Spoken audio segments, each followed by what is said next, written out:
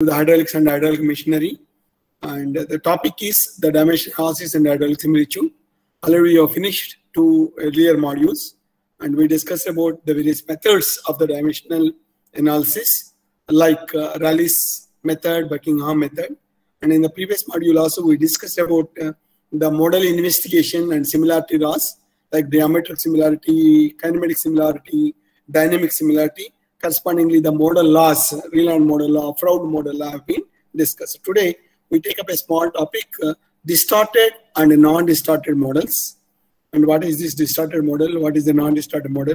Why should we go for a distortion in the model? Uh, to be very uh, precise to say, what is that distortion? The distortion may be taking place by having a deviation from the general similarity law. Suppose if I say geometric uh, similarity is followed. So 100 meters height is considered to be 1 meter in the laboratory. If 100 meters length is to be considered another 1 meter only because it's all uh, geometrically similar. But still, we at certain specific cases, we try to go for the deviation from the general uh, length scale that we consider or in the other cases, other scales also. So what is the need for going for these deviations? Why should we go for these deviation, etc.? We try to discuss. So distorted and non-distorted models is a today's topic. In general, hydraulic models can be classified under two broad categories undistorted or dis distorted or non-distorted models and distorted models two categories are there an undistorted model is that which is geometrically similar to its prototype so while achieving the similarity between the model and the prototype we achieve the complete geometric similarity between the model and prototype.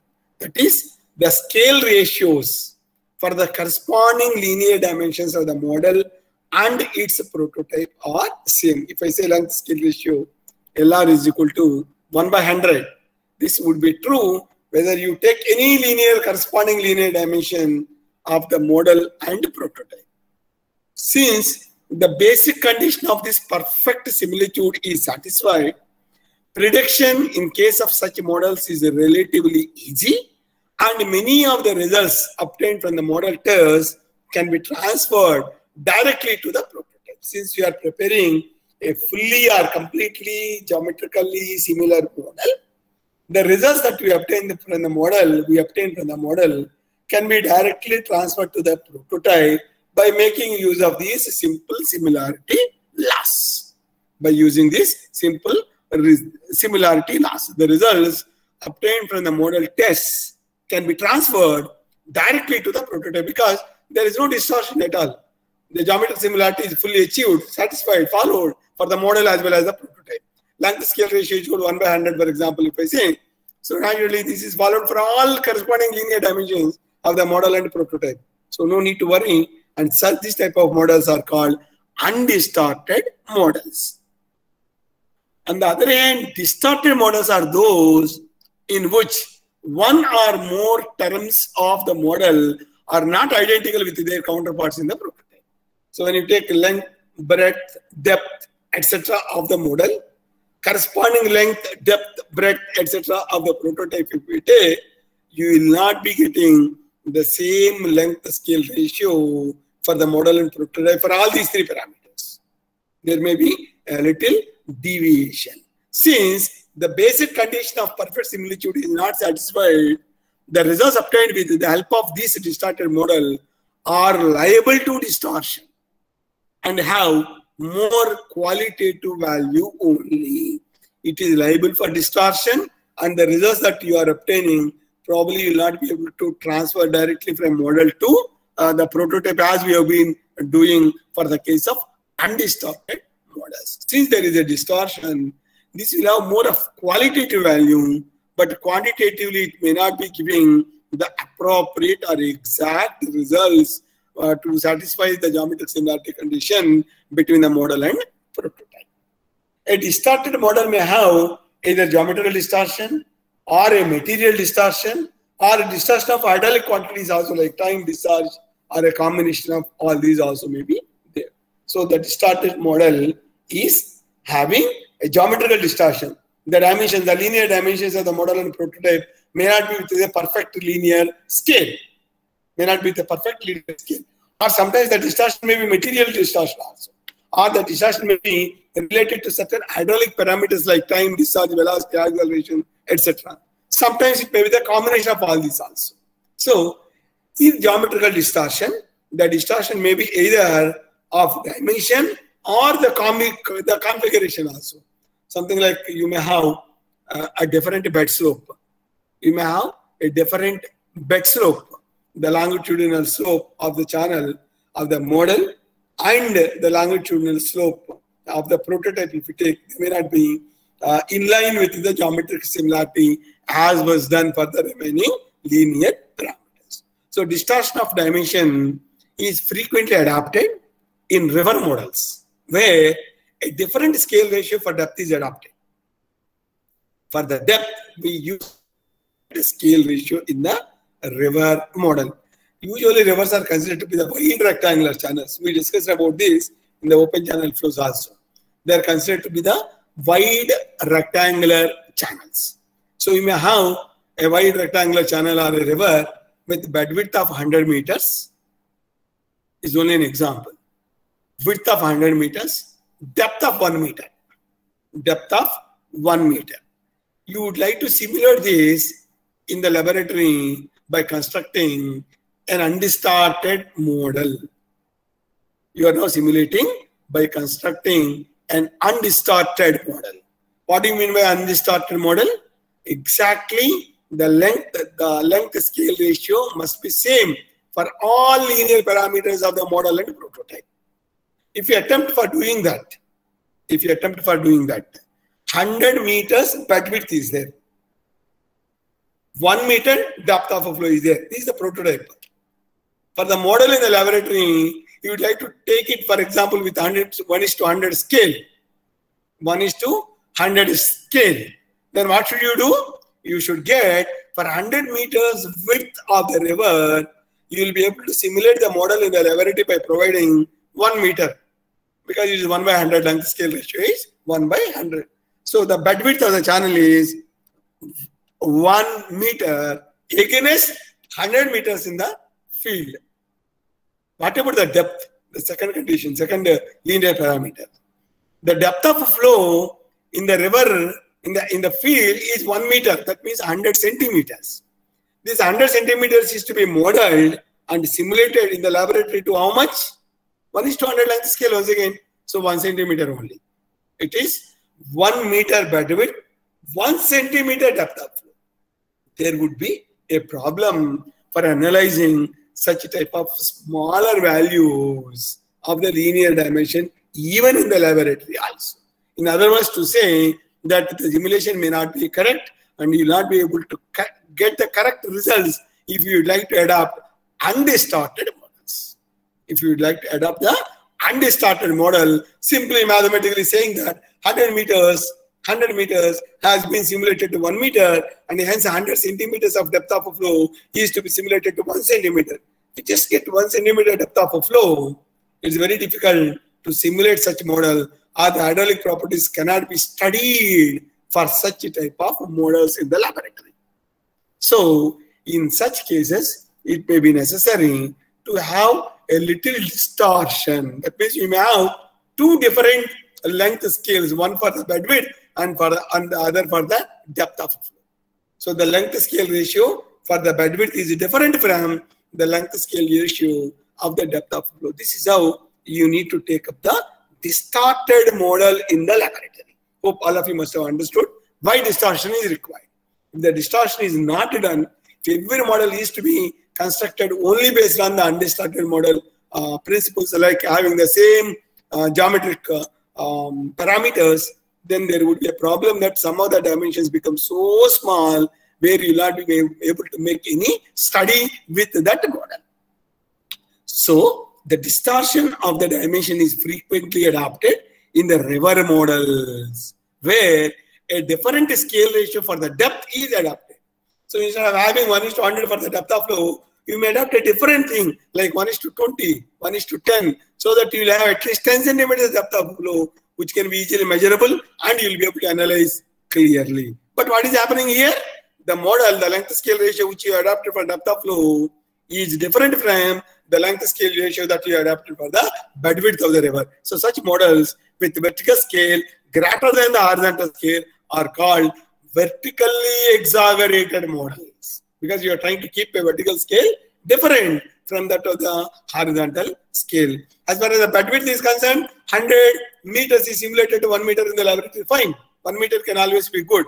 But when it comes to the vertical scale, the depth of flow, 100 centimeter depth of flow is simulated to 1 centimeter is not possible. And hence we may take 10 centimeters. That means the length scale ratio for the vertical parameters is different from the length scale ratio that you are adapting. So a different scale ratio for the depth of flow is adapted. And these type of models are called vertically exaggerated models. We know there is a distortion, but, but still this distortion is required.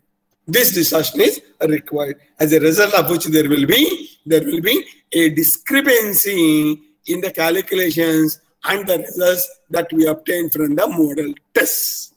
From the model test, we obtain the result, but there will be a discrepancy. As a, that this is what is called the scale effect. The discrepancy or disturbing influence is called the scale effect. Why there is a uh, a discrepancy because you are using two different scales, length scales for uh, vertical and horizontal. So if complete similitude does not exist between a model and its prototype, there will be some discrepancy between the results obtained from the model test and those which will be indicated by the prototype after its construction. So if you go with these results and prepare the prototype, the results that we obtain may be different, maybe different. Why there is a difference? The, the discrepancy is because you have adopted a distorted model. Rather, you have adopted different length scale ratios for horizontal and vertical. So, scale effect in the models. Some of the factors which may lead to the departure from the complete similarity and hence result in the development of the scale effect are given here. So in the case of certain problems, if several forces are, are having predominance, the complete similitude will be ensured if all the pertinent model laws are simultaneously applied. I repeat this statement once again. You are trying to take the model analysis with respect to a prototype and you have several forces which are acting there. You have several forces which are acting there. And if you assume that all these forces are predominant, all the forces like viscous force, gravity force, both forces should be considered. Then the complete similitude will be ensured only if all the model laws are applied. Yesterday, we have seen Froude, Froude's model law, Reynolds model law. Froude's model law would be applicable in open channel situations where the force due to gravity is predominant. Second case is like Reynolds model law may be applied in the case of pipe flows where the force due to viscosity is predominant. Suppose if you have a case where both viscosity as well as the gravity force, both the forces are predominant, which, which lies to be applied? Which lies to be applied? So if you have both are predominant, one is 100 Newton, 100 newtons and the other is 85 newtons. Both are predominant. One is 100 and the other is 4 or 5. You can safely say that yes, this can be neglected. But in this case, it cannot be ne neglected. So, if several forces have predominance, the complete similitude will be ensured if all the pertinent model laws are simultaneously applied. How is it possible? How is it possible to apply all these pertinent laws like uh, Reynolds model and the Froude model law simultaneously being applied? So it is quite difficult to satisfy all the model laws involved in the phenomenon.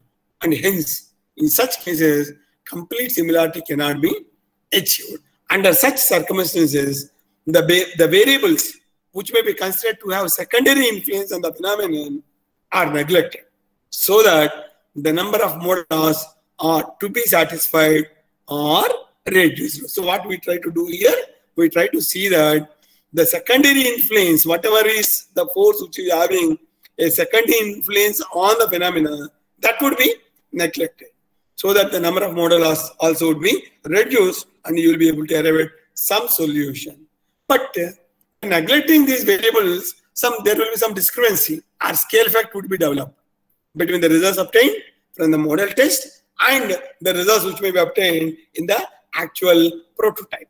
So the scale may also be affected in cases where the forces which have practically no effect on the behavior of the prototype significantly affect the behavior of the model also. Sometimes if I say both the Reynolds model and the Froude model are to be applied for one physical phenomena, I'm sure both cannot be simultaneously applied. So what I try to do, I prepare a small model, say that, saying that I'll neglect the uh, Froude model and apply only uh, the Reynolds model. But when you prepare a model of a small structure in the laboratory, there the Reynolds model may become significant. The force due to this may become uh, significant as compared to the gravity force. So the behavior also would be changing. This is what the statement is. The scale may also be affected in the cases where the forces which have practically no effect on the behavior of the prototype significantly affect the behavior of the model. If I say, um, uh, say there is no uh, requirement of considering uh, the gravity force, but when it comes to the model, gravity force may become predominant. The gravity force may be, become predominant. Often, it may not be possible to correctly simulate all these conditions in the model as that of the prototype. For example, if you take an open channel, roughness of the open channel, if you would like to simulate it, this, this may not be possible to have the exact value of the roughness to be provided in the uh, laboratory.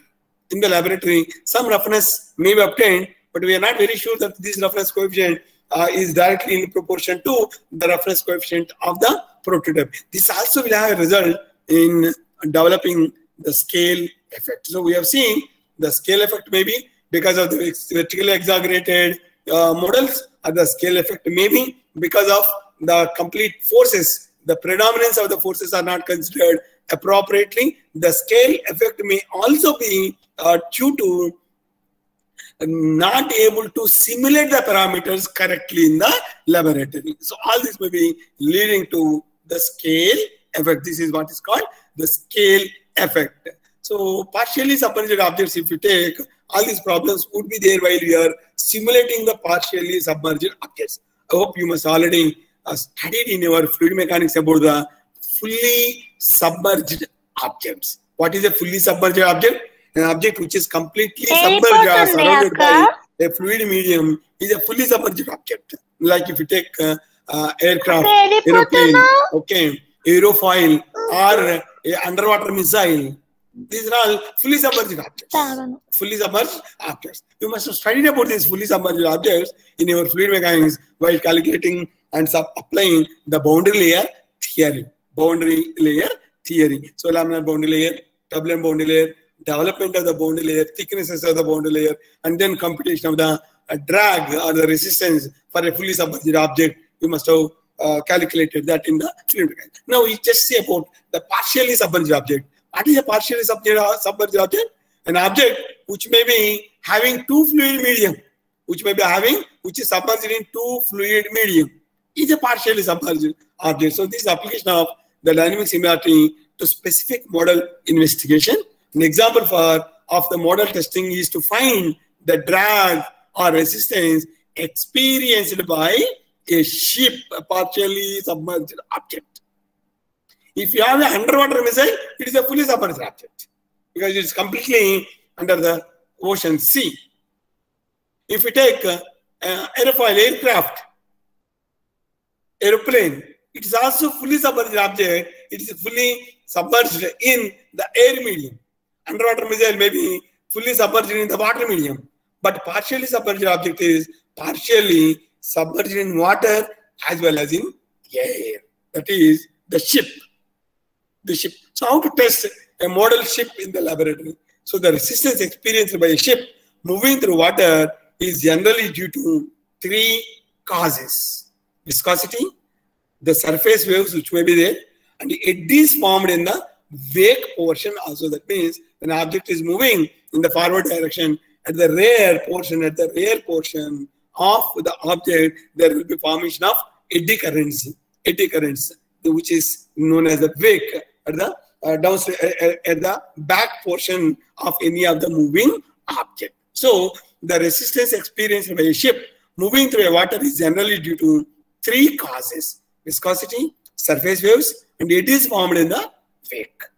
Due to the viscosity of the fluid, viscous forces are set up between the fluid layers close to the ship, which results in causing the frictional resistance to the motion of the object. The object, what is the object here? The object is the ship. Ship is moving and it is partially submerged and you have water. Since there is viscosity for the water, so viscous forces would be set up between the fluid layers very close to the ship, which may be resulting in the existence or causing the frictional resistance to the motion of the ship. So this part of the total drag is usually termed as the skin friction drag, skin friction, skin friction, okay, or it is a Uh, frictional resistance which is offered due to the viscous forces in the water. Viscous forces in the water. Further, a ship being only partly immersed in water, its motion through water gives rise to waves on the surfaces also. So the information of these waves requires energy and this energy must be derived from the motion. So the ship experiences an the resistance to its motion through water to the surface waves. Because there are waves at the surface of the water, there will be resistance because of this formation of the waves for the motion of the object, for the motion of the object. In addition, as the ship moves forward, part of the flow towards the rear of the ship breaks away from its surface to form a wake. So there will be formation of the eddy currents at the end, at the back backside of the object. So this also causes additional resistance to the motion. So this is usually called the form drag or pressure drag, which may be due to the difference in pressure between the front portion to the back portion of the object of the object. Thus, for a ship moving through water, the total drag is the sum of friction drag, drag due to surface waves, and the pressure also called a form drag. So there will be three types of drags or resistances for a partially submerged object like a ship. Friction drag, drag due to surface waves, and the form drag. Since the ships are generally streamlined, the pressure of form drag is relatively small and within the usual range of Reynolds number can be assumed to remain constant. So what we are trying to do, we are trying to make a simple simplification for analyzing this type of partially submerged objects. The simplification is like, because we are considering the ship to be a streamlined object, the form drag would be constrained Within the range of the Reynolds number, it may be assumed to remain constant. So the formation of the surface is associated with the gravitational action. As such, the resistance to the motion of the ship is affected by the viscosity as well as gravity. The total resistance R encountered by a ship will thus be the function of the velocity of the ship, the viscosity of water mu, the density of the water rho, and some characteristic length L of the ship to specify the size of the ship and the gravitational acceleration g. So all these are the parameters, parameters which may be influencing the resistance to the motion of a partially submerged object, uh, say a ship. So if R is the resistance encountered by the ship, then this R becomes function of the velocity of the ship, viscosity mu, density rho, characteristic linear dimension L, and acceleration due to gravity. So in this problem, the compressibility of the liquid, however, is insignificant because you are, you are considering the water. So compressibility may be almost considered to be negligible and hence the surface tension force may also be neglected if the model is not too small. So the functional relationship for the resistance R may be written like R is function of f of the velocity v, comma, the viscosity mu, comma, the density rho, comma, some characteristic linear dimension L, comma, the acceleration due to gravity G. R is a function of V, mu, rho, L, and G, which according to a method of dimensional analysis can be expressed in terms of the dimensionless parameters. And finally, by, by making use of either the Reynolds technique or Buckingham pi technique, we may be getting R by rho L square V square is equal to some function psi of rho VL by mu comma V square by GL. Rho VL by mu comma V square by GL. R by rho L square V square is equal to some function psi of rho VL by mu and V square by GL. V square by GL. What is rho VL by mu? The Reynolds number RV. V by root GL is the Froude number. Is the Froude number. So the total resistance therefore depends on the Reynolds number and the Froude number. Thus, in the case of in the case for complete similarity between the model and prototype, the Reynolds number as well as the Froude number must be same for each. So this is how we try to analyze the partially submerged objects. Taking rho VL by mu of the model must be equal to rho VL by mu of the prototype. Also, V by root GL of model must be equal to V by root GL of prototype. What we have done? We have taken the Reynolds model as well as the Froude's model because we have seen that we have seen that the resistance depends on the total resistance or total drag depends on the Reynolds number as well as the Froude number. So Reynolds model as well as the Froude's model are simultaneously applied. If the Reynolds law is to be applicable, rho VL by mu of model must be equal to rho VL by mu of prototype. Similarly, if Froude's model is applicable, V by root GL of model must be equal to V by root GL of prototype. Or VM by root GMLN must be equal to VP by root GP LP. So taking all to the one side, VR, VM by VP is VR, LM by LP is LR, and mu M by mu P uh, will be equal to mu M by mu P is UR, VR LR by mu R is equal to 1 for the Reynolds model. VR by root LR must be equal to 1 for the Froude's model. Why you are taking this? Because the acceleration due to gravity at same place, so GR would be equal to 1. The, the acceleration due to gravity constant GM by GR is equal to 1. So VR by root LR is equal to 1. And in this case, it is VL by mu is, is constant. So VR LR by mu R is constant. So here what you got now? VR is equal to root LR. From the Froude's model, uh, VR is equal to root LR. And substituting here, root LR into LR divided by mu R is equal to 1. Or mu R is equal to root LR into LR or LR to the power 3 by 2. So this is how we are trying to apply both the model laws um, for the partially submerged objects. However, this can, condition cannot be satisfied practically. Therefore, a method was suggested by W. Froude may be adopted to overcome the difficulty, uh, saying that the total uh, resistance R experienced by a ship may be assumed to be consisting of two portions. The resistance RW, wave resistance due to the action of the wave, and the frictional resistance RF due to the frictional effect on the wetted surface of the ship. RW, RF, resistance due to waves, resistance due to friction. So the total resistance will be equal to sum of the both uh, RW plus RF. Similarly, if you take a model, a similar subdivision also can be made for a model which is prepared in the laboratory having a resistance R, which may be the sum of small rw plus small rf, where small rw is the resistance to the waves in the model, and this is the resistance to due to friction in the model, due to friction in the model. So this is how the partially submerged objects analysis can be taken up. We, we just look at a few problems uh, related to uh, these. Sometimes no, there may be distortion, there may be no distortion also, but still the problems are related to the model analysis in general.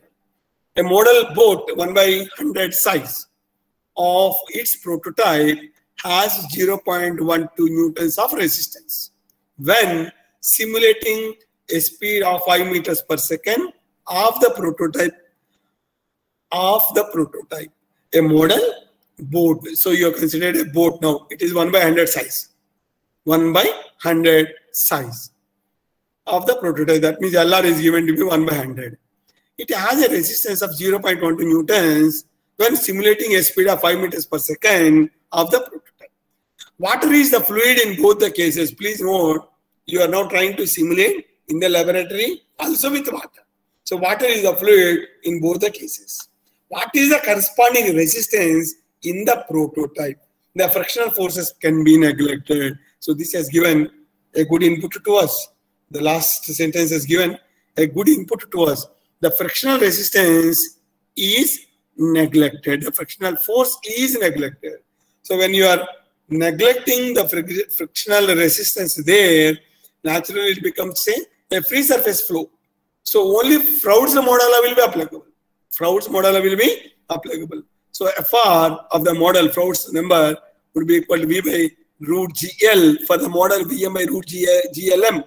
Similarly, for the prototype, Vp by root GLP. What is G?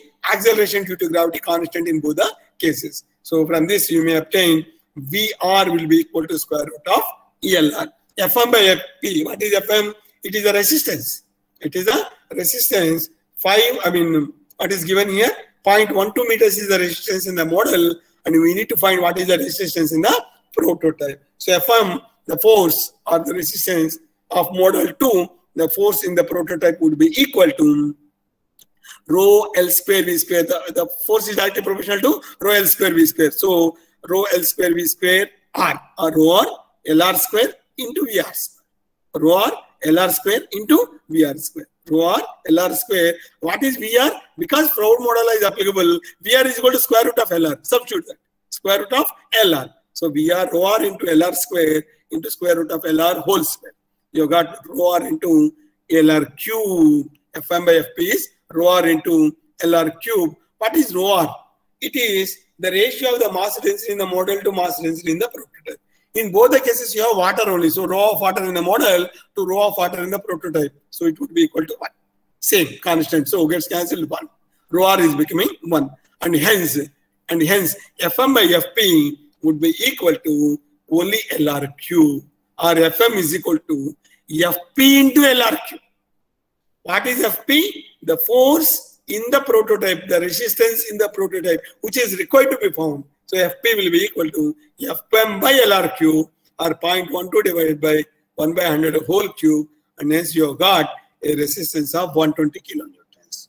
0.12 newtons resistance in the laboratory now and in the prototype the resistance is 120 kilonewtons. However, however, you may please note that we made an assumption that the frictional forces have been neglected. That means you have taken only Froude's model to analyze this problem a model of an open channel is built in a scale of 1 by 100.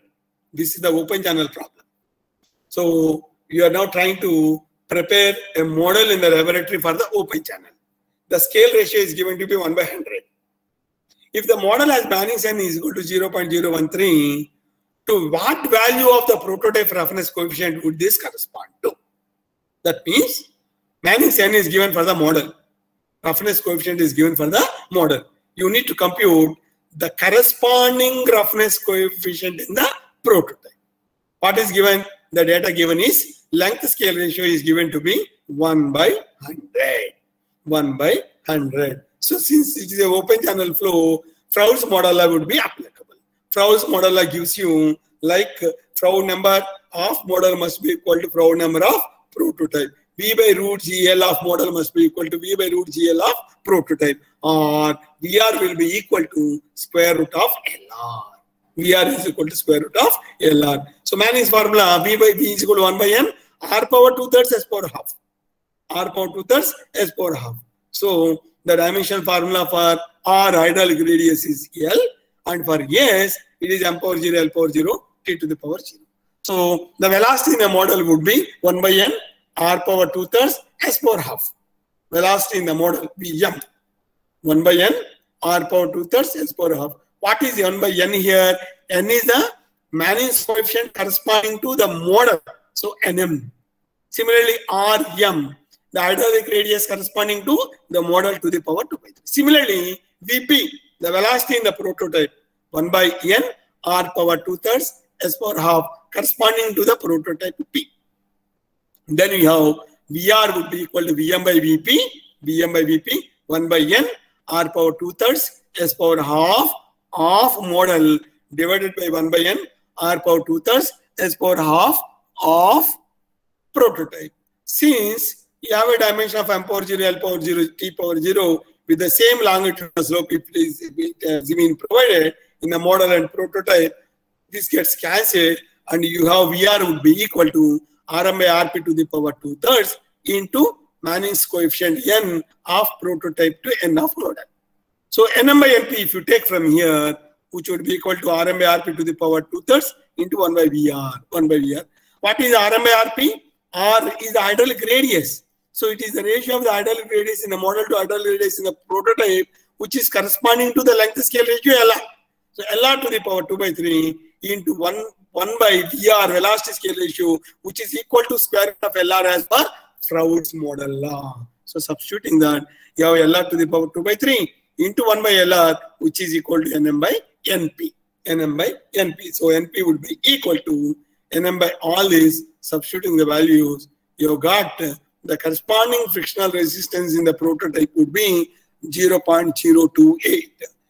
What is the model resistance? 0.013. One point I told you at the time of talking about the distorted models, it may not be possible to arrive at and to achieve the exact frictional resistances either in the model and or in the prototype which has been obtained based on the calculations. This may lead to the distortion of the model to prototype. Okay, one more problem. A 1 is to 16 scale model of a can is tested in a wind tunnel. The prototype velocity is 60 kilometers per hour. If the model drag is 250 newtons, what is the drag and the power required to overcome the drag in the prototype? The air is the model in the model and prototype can be assumed to have the same properties. What is a wind tunnel? What is this wind tunnel? Wind tunnel is a testing device which can be used to analyze, which can be used to analyze the fully submerged objects. The, the, the submergence is, the submergence of fluid is air. The submergence of fluid is air. So, wind tunnel is a test section will be there for the wind tunnel and you can keep the object directly there in the wind tunnel. Try to try to test that object a model which is provided in the test section of a wind tunnel. For example, you have um, a fully submerged object like aeroplane, aeroplane, and is moving with certain speed. So in, in a fluid medium air, in a fluid medium air. So what will happen there? The object would be moving, and the fluid medium is considered to be stationary. Hope you followed. The fluid medium, the surrounding fluid medium, is considered to be stationary. The object aeroplane is moving with a certain speed. Similarly, you take the object of a say car. So the car is moving on the road. So what happens? The car also is a submerged object. It is submerged in the air, moving on the road with a certain speed in a fluid medium which is stationary. The fluid medium is stationary. The car is moving. But in the laboratory, how do you simulate this? We apply just the reverse operation, reverse engineering. What do we do here? What do we do? Instead of sending, instead of making the object move with a certain speed in the laboratory to test the same thing, we keep the object stationary. We keep the object stationary and allow the wind to flow. The air moves with a certain velocity. The effect is same. The effect is same in both the cases. So in the laboratory, while you are simulating and testing for the model, instead of the object being moving there, the object, let it be a car or an airplane, will be kept stationary and the air moves with the help of a blower, the air moves with the required velocity there. So the effect is same and you will be able to simulate and test the uh, object in the wind tunnel. In the wind tunnel. So here in this problem, 1 is to 16 scale model of a can is tested in a wind tunnel. The prototype velocity is 60 kilometers per hour. This can be an object like a car. Okay, this may be object like a car. The way the prototype velocity is 60 kilometers per hour. Actually, the car may be moving with the speed of 60 kilometers per hour. And the, the model drag, if the model drag is 50, 250 newtons, what is the drag and the power required to overcome the drag in the prototype? Now a car is moving with a velocity of 60 kilometers per hour on the road. And a 1 is to 16 scale model has been prepared and kept in the wind tunnel. Kept in the wind tunnel. In the wind tunnel, while arriving the flow there, the resistance that was experienced by this model was 250 newtons. What is the corresponding drag of the what is the corresponding drag of the prototype and what is the power required to overcome this drag? So the air is considered to be the fluid and having the same properties in both the cases. It is having the same properties in both the cases. So Reynolds model is applicable. Rho VL by mu of model must be equal to rho VL by mu of prototype. Or in other words, OR VR LR by mu R, mu R must be equal to 1. Or VR LR by mu R, kinematic viscosity mu, mu by rho is equal to 1. So VR will be equal to mu R by LR or mu R would be equal to VR by LR. VR is 1 because A properties are same. UR will be 1 and you and you have VR is equal to 1 by LR. The velocity scale ratio will be equal to 1 by LR or Vm by Vp will be equal to 1 by LR. Vm is equal to Vp by LR. What is Vp? The velocity in the prototype given 16 kilometers per hour. 16 kilometers per hour. And you will be getting uh, 360 kilometers per hour is the speed required to be provided in the model. The model speed is 360 kmph. And the force ratio is also, what is the force? The force in the model to force in the prototype will be equal to rho r LR square VR square following the Reynolds model law. Rho r LR VR square. So what is VR? By LR whole square. If you substitute, you will be getting rho r into nu r square. And since you are having the air in both the cases, having the same properties, rho r will be equal to 1, mu r equal to 1. So Fm by Fp is equal to 1. Fm by Fp is equal to 1. What is that? What, what does it mean? The resistance of the of the model drag is equal to the resistance of the prototype drag. Fm by Fp is equal to 1. So Fm is 250 newtons, Fp also would be 250 newtons. You see here, what happened in this problem? For the model to prototype, the speed is changing. In the in the prototype, the speed is 60 kilometers per hour, which is to be simulated in the laboratory for having a speed of 360 kilometers per hour. While the resistance in the model is 250 and the same resistance is there for the prototype also, same 250. Power to overcome the drag in the prototype is the force multiplied by the velocity. So 250 multiplied by 60 kmph, you'll be getting 4.167 kilowatts is the power required to overcome the frictional resistance.